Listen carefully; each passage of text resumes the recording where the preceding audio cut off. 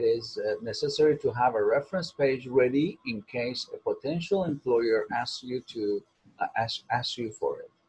Adding the note references available upon request to your resume is considered cliche by some recruiters. So it's better not to include this because anyway, they will ask you for uh, uh, references. So you don't need to write down references are available upon request. They know that you have to uh, just introduce your references when they just call you and ask you for, for, for, for the number of references. Prepare a list of references on a separate page uh, uh, from your resume and bring it to every interview. Double check then, uh, the phone numbers and email addresses. And don't forget to get permission mm, for your from the people you want to, to use as references. It is also a, a good idea to give them a copy of your resume in case a potential employer calls for a reference, okay? So um, this is the example of the uh, kind of information you have to include for your references. Uh, reference for uh, Mark King.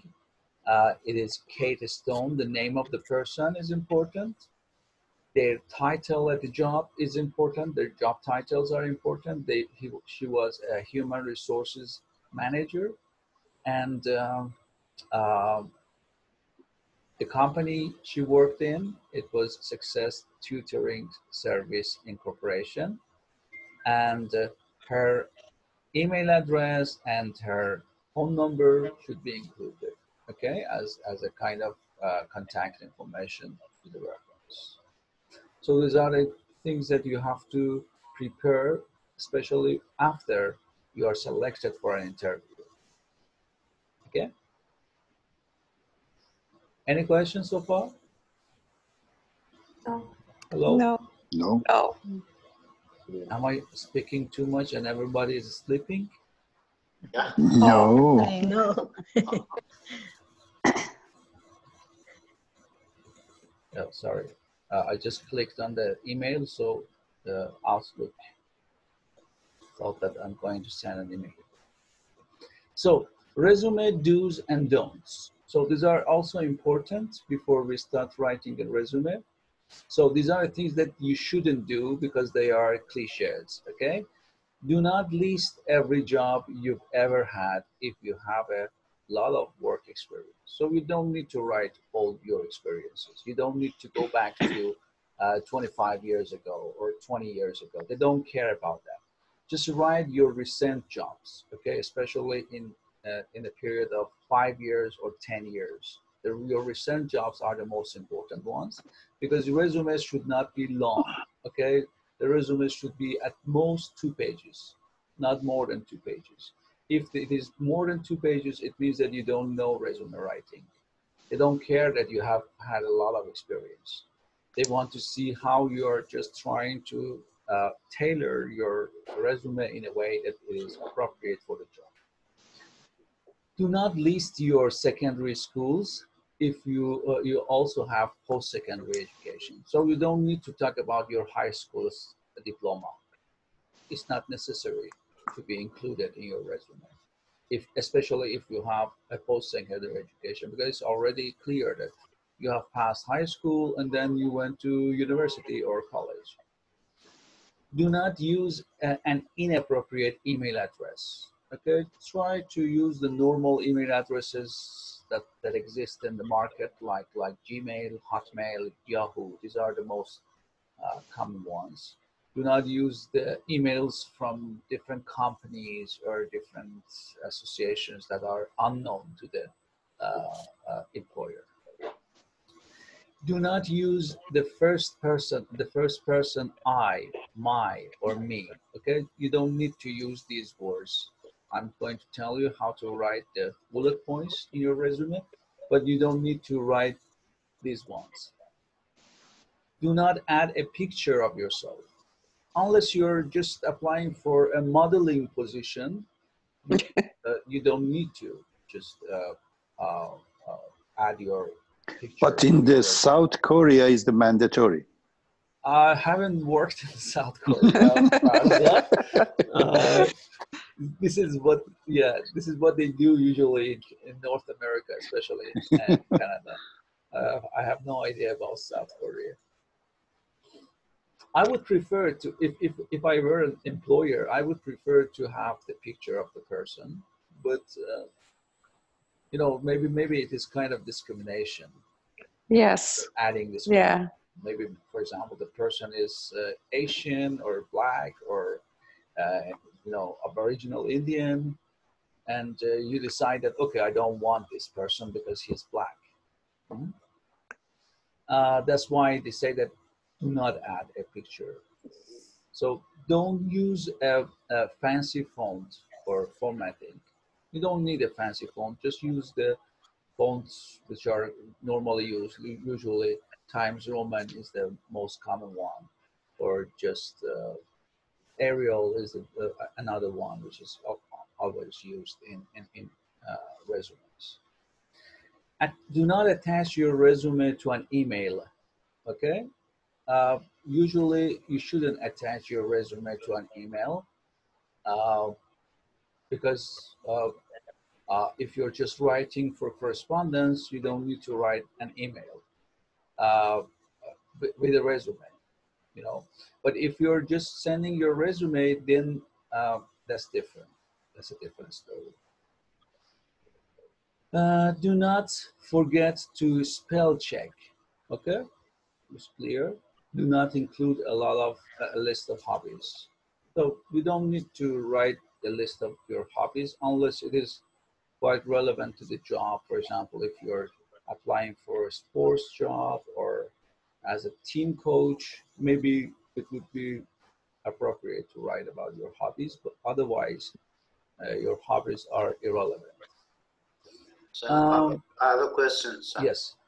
Uh, imagine a person who have uh, experience and uh, have a job in different sector. For example, uh, he or she had experience and knowledge in the tourism industry, also in the human resource, and also in the marketing, for example, okay? And uh, had different jobs in the different times. And now uh, uh he or she wanted to uh, provide a resume for marketing. Is it necessary that write another background in another job or no? Just focus on the marketing. Um, I, I don't know if these these these uh, fields that you were talking about are related or not to each other. Uh, if they are relevant, yes, it's better to include them because it shows that you are a well-rounded person. You can just handle different uh, fields of uh, the same career. But uh, if they're irrelevant, like as I told you, I, I gave you an example of my teaching career and administration. These are irrelevant, you know, doesn't make, I, can just tell them that I have been a teacher as well, just in a very short uh, paragraph or in a very short note. But uh, uh, I, I cannot focus on my, on my career as a teacher to apply for a job as an administrator because they are irrelevant. But yeah. sometimes if it is marketing and you have been marketing for tourism or you have been marketing for, I don't know, different products and you have been a salesperson. So you see these, these, these careers sound somehow relevant. Uh, then you might just include them in your uh, resume. It depends on the, on the, on the type of uh, jobs you have been doing. So we should uh, we should uh, attention to relevant or irrelevant. Yes, irrelevant. whether they are relevant to your job or irrelevant to your job. Yeah. Will they add some some specific skills, some specific uh, you know uh, expertise to your uh, background, or they will not need them? You know, they don't, they don't require that kind of job. That's why I told you first look at your job postings. The best thing to find out how to write your resume is have a look at the kind of job postings they advertise. In the job postings, they will tell you what kind of expertise or what kind of skills uh, we are looking for. And then you can focus on those skills and uh, you know what what to write in your resume. Okay, Okay. I get it. Thank you. So uh, yes, below are some some examples of what not to do on a resume. Identify the problem with each each example. Look at that one. Please find my resume attached to this email. Why Don't attach, don't attach resume to the email. Yeah, they say that you shouldn't attach your resume to the email. Um, I'm a hardworking sales clerk. Do not use I, me, my. Yeah, you shouldn't use I am. Just write a hardworking sales clerk. That's what you are. You're not talking about your neighbor. Number three, oversaw lemonade uh, stands. Mhm. Do not say about your hobbies. hmm Yeah, oversaw lemonade stands is kind of hobby. It is not a profession. Uh, four, uh, cute guy Tony at yahoo.com. So you see cute. Uh, in inappropriate email. It's an in, inappropriate email. Okay, do not use the emails that you used when you were a teenager and you were going to attract girls or boys. Uh, this, this is not a good name. Maybe a good email address is the one with your own name and with your own family name. Maybe some numbers. Five, uh, gratitude of Milford College. Sorry, grad, grad, graduate, I think. Um, Graduated. Graduate, Graduate. graduated, graduate of Milford College. It's related to very previous time. Mhm. Maybe, maybe it, it was a long time ago Mhm. and uh, it's not related, relevant to the present situation. Enthusiastic team player. So as you can see, these are some cliches. These are resume cliches. Here are a few overused words and phrases to avoid using on a resume. So if you're using a team player, problem solver, good communicator, go-to person, strong track uh, record, uh, good organizational skills, these are too overused in uh, many resumes. So it's better not to use them. Instead, instead, it's better to find ways to describe how you're a team player, how you have been collaborating with your coworkers, okay? How you have been coordinating things at your job, how you've been trying to solve problems at your job, or how you have been able to uh, communicate with others, okay? So, um, so some do's. Remember we talked about don'ts, don't do these. Now these are the things Yeah. that you can do. You have already learned the importance of keywords or nouns. These are the most important words in your resume. You should also use powerful verbs and adjectives. Some of your powerful, uh, some, uh, some of your power words uh, will be job dependent. Okay, so it depends on different jobs, but these are some of them, you can use them. These are some 10 powerful verbs, such as advanced, coordinated. Please tell me if you don't know the meaning of any, any one of them. Collaborated, maximized, implemented. You know the meaning of implemented? Yeah, doing. Yeah, pl- implement means perform or do something or conduct something.